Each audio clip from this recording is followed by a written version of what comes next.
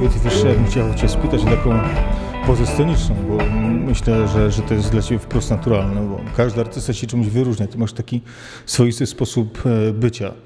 To tak od pewnego momentu, czy, czy, czy od zawsze? Bo to jest magnetyzujące w pewien sposób.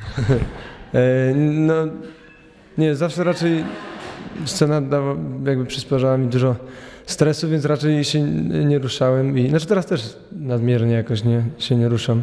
Nie no, to było, wiesz, energetyzujące dosyć, natomiast wiesz, samo to jak ty mówisz, jak opowiadasz i tak dalej, bo mnie ostrzegano, że o, z Dawidem Pociadą będzie ciężko przeprowadzić wywiad.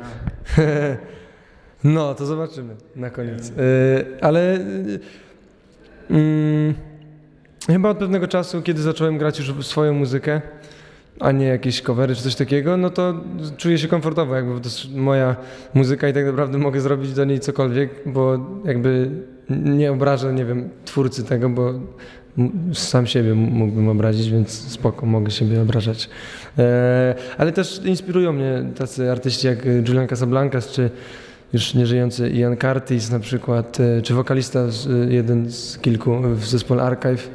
Mm, to chyba takie moje trzy główne Y, choreograficzne inspiracje. Podoba mi się bardzo to, w jaki sposób się ruszają, bo właśnie oni się ruszają tak po swojemu i, i tam nie ma jakiegoś specjalnego układu czy, czy przygotowanego tańca, tylko to jest takie losowe bardzo. I też tak pozwalam sobie na losowe ruchy. Ale jeszcze tak kończąc, yy, yy, duże znaczenie ma dla mnie muzyka. Ona w sumie jakby rusza.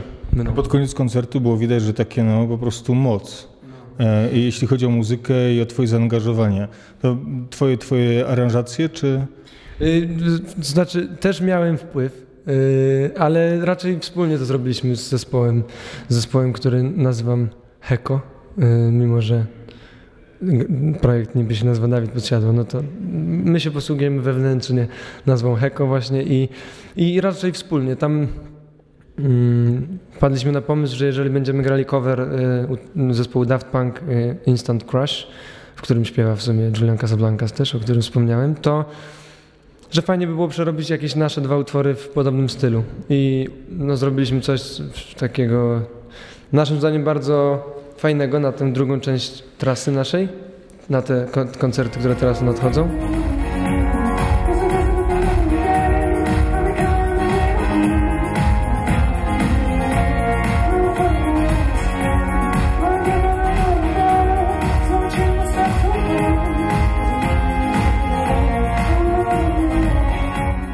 Powiedz mi, jaka była reakcja e, Twoich znajomych, w ogóle mieszkańców? No bo stałeś się szybko rozpoznawalny przez X Factor, tak? A później jak wygrałeś teraz, e, jak w ogóle Twoi znajomi reagują? No, też niedawno przecież kończyłeś szkołę średnią, więc te relacje są jakby takie bliskie. Chyba wiele się nie zmieniło w sumie. Znaczy zmieniło się to, że mamy mniej czasu, żeby się spotykać, więc jak się spotykamy, to to jest takie bardzo intensywne i pełne entuzjazmu tam w tym spotkaniu jest wtedy. Mm. Ale, ale są ciekawi, pytają cię, jak to jest i w ogóle, no bo wkroczyłeś w, no, w show biznes. Trochę, trochę może tam wkroczyłem. I nie, no jakby pytają, ale ja też lubię, wydaje mi się, w pewien sposób czasami być w centrum uwagi, więc chętnie odpowiadam. Lubię opowiadać w ogóle. Wydaje mi się, że wtedy tak wiem cokolwiek. A jak sobie w ogóle radzisz i, i ze sławą, i, i, z twoimi osiągnięciami, bo to naprawdę duży sukces, chociażby ta ilość sprzedanych płyt, tak? E, Comfort and Happiness, no przecież to jest, to jest szok, nie? Młody artysta, początkujący, sprzedawać więcej płyt niż nie jeden dobrze zapowiadający się zespół, tak? No to jest miłe i, i chyba nie można o tym za dużo myśleć, bo wtedy mogłoby tak przytłaczać. Ja się cieszę z każdej jakiejś informacji o jakimś sukcesie gdziekolwiek. Yy ale no, mnóstwo radości dają właśnie koncerty, możliwość spotkania się z ludźmi tutaj i ich reakcja na to, co się dzieje jakby na żywo, bo to jest taki test naprawdę jakości. Mm, wydaje mi się, że koncert się różni trochę od płyty samej, że płyta jest bardziej stonowana i, i taka kojąca, a na koncercie mamy dużo właśnie energii i, nawet jeżeli są te spokojne utwory, to i tak je zrobiliśmy w taki sposób, że można się dobrze przy nich bawić. No, ale też no, każde wyróżnienie, jakakolwiek nominacja czy nagroda już później, jeżeli jest, to, no, to jest piękne, piękne rzeczy, ale też staram się właśnie nie myśleć zarówno, jak, no, zarówno negatywnych, jak i pozytywnych rzeczach za bardzo, bo trzeba robić swoje jakby i to, co się dzieje dookoła, to, to fajnie, ale nigdy wcześniej nie myślałem o tym, co się może wydarzyć. A ty studiujesz, czy, czy, czy zostawiłeś studio i zajmujesz się na razie rozwojem kariery? No na razie niestety tak. Znaczy niestety, no mam ogromne... Tak, zacząłem anglistykę zaocznie, bo myślałem, że zaocznie dam radę i tak e, ogarnąć, ale nie udało się. Mm, mam w sobie taką potrzebę studiowania i, i, i dalszej edukacji, więc na pewno do tego wrócę za jakiś czas, jak, jak będę mógł sobie zrobić przerwę, ale no, pojawiła się taka ogromna szansa w moim życiu, że mogę robić naprawdę to, co uwielbiam i, i naprawdę w sumie nie mam wyboru, nie mam na nic innego czasu, więc... No generalnie widać, że dobrze się w tym czujesz, że to jest po prostu to, co pasuje do ciebie.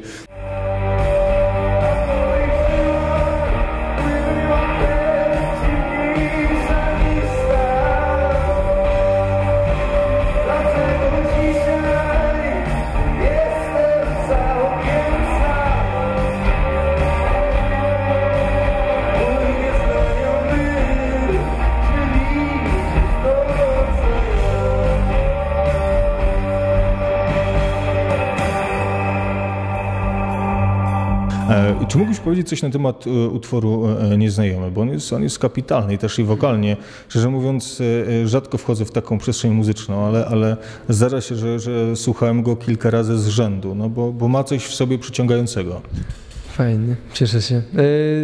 Nie jestem jakimś Nie, no ale każda, każda, każde zdanie to jest cenne zdanie tak naprawdę, więc to, to ja bardzo się cieszę. Utwór nieznajomy. On powstał najpierw w angielskiej wersji, gdzie byłem autorem tekstu. E, później Karolina Kozak. E, mm, akurat wybraliśmy ten utwór jako na utwór, który powinien być też po polsku. I Karolina e, stworzyła właśnie polską wersję, która tam, w której bardzo dobrze się odnalazłem w sumie, bo, bo niektóre tam aspekty tego przesłania czy coś się pokrywają i w ogóle Także nie, szczerze mówiąc jestem trochę też e, nie wiem, zmęczony tym utworem, bo jest to singiel, więc słyszałem go bardzo wiele razy już i nie należy on do moich ulubionych utworów z naszego repertuaru. Zanim dojdziemy do 4.30, do tego twojego pierwszego autorskiego w całości no, tak. utworu, e, czy, czy bo pewnie on jest dla Ciebie ważny, zaraz do tego wrócę, ale czy jest jakiś utwór, który jest dla Ciebie bardzo bliski? Bo czasami to jest tak jak z Radiohead. Oni e, nie grali tego utworu, który się podobał e, e, publiczności, prawda? Oni go nie, nie, nie cierpieli wręcz. Czy może u Ciebie jest podobnie, że masz jakiś swój ulubiony? No, mm, są jakby na koncertach na przykład nigdy nie gramy jednego utworu, który jest na płycie, to jest druga część No. I on chyba należy do moich ulubionych, przez to, że w sumie rzadko go słyszę i, i Mm, ale też tekst mi się podoba i kontrast, jaki jest między pierwszą a drugą częścią tego utworu. Mm, bo w pierwszej mamy jakby bohatera, który jest takim flirciarzem i w ogóle y, ma takie raczej swobodne życie i mało stresu i w ogóle. A, a w drugiej części już jest tak na poważnie to, co chciałbym powiedzieć do osoby, którą darzę jakimś tam uczuciem i, i to, to mi się bardzo podoba, jeżeli chodzi o płytę. A koncertowo bardzo mi się podobał Elefant, y, taki utwór, który cały jest falsetem śpiewany. Ale od pewnego czasu nie wywołuje we mnie takich emocji jak, jak kiedyś i teraz w ogóle moja ulubiona część koncertu to bisy, które zrobiliśmy, właśnie te elektroniczne dźwięki. Tak, no pomyślałem, że to będzie... Mieliśmy taką całą ideologię za, za tym stojącą właśnie, że... Mm, żebyśmy wchodząc na bis nie byli tym samym zespołem, który przed chwilą tam grał, tylko trochę kimś innym.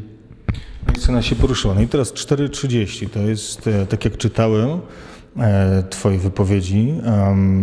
utwór bardzo osobisty, zresztą sam, sam powiedziałeś, że on na Tobie wywiera duże emocje, duże wrażenie. E, to godzina pojmania Jana Bytnara Rudego, tak? 23 marca 1943 roku, jak dobrze pamiętam. I w związku z tym, dlaczego akurat e, e, taki pomysł, taki tekst, taka muzyka? No bo wiemy, że to będzie ścieżka dźwiękowa do filmu Kamienie na szaniec. Tak, no ten utwór pojawi się faktycznie w filmie i dostaliśmy taką po prostu propozycję, że w związku z tym, że jesteśmy e, zdolni, albo że według kogoś, który, kto współpracował z filmem, z produkcją filmową, uważał, że ja jestem zdolny, to, to po, po zaproponował, żebyśmy spróbowali zrobić jakiś taki utwór, który można by było mm, połączyć z tym właśnie dziełem. I bardzo się obawiałem y, takiej sytuacji, w której musiałbym stworzyć utwór do tak poważnej tematyki i tak y, mm, jakby znaczącej dla, dla, dla wszystkich nas, jakby Polaków w sumie nawet, y, więc miałem dużo wątpliwości, ale też spokojnie do tego podszedłem, że jeżeli nie, nie zrobię czegoś, z czego będę zadowolony, to po prostu zrezygnujemy z tego i, i ktoś inny dostanie taką przyjemną szansę na to. E, no i też, y, kiedy już zaczynałem pracę nad tekstem, jeszcze nie widziałem wtedy mm, filmu. E, nic, nic nie widziałem w sumie związanego z filmem, no, ale Czytałeś Kamienie na szaniec, tak? tak, oczywiście y, było to w szkole obowiązkowe.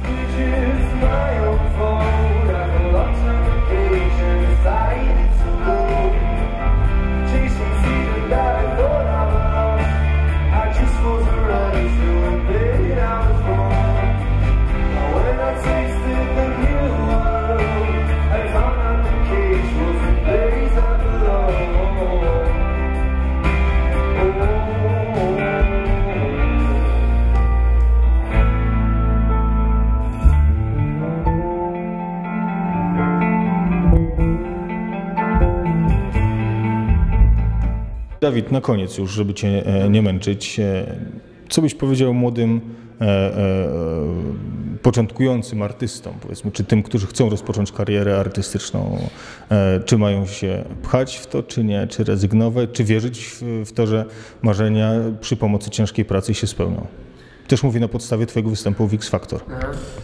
No, wydaje mi się, że wiara w to, że da się osiągnąć wszystko i nie ma granic żadnych, oprócz tego, co tam nasza wyobraźnia sobie kreuje, to, to, to bardzo wiele robi. I oczywiście mnóstwo szczęścia się przydaje.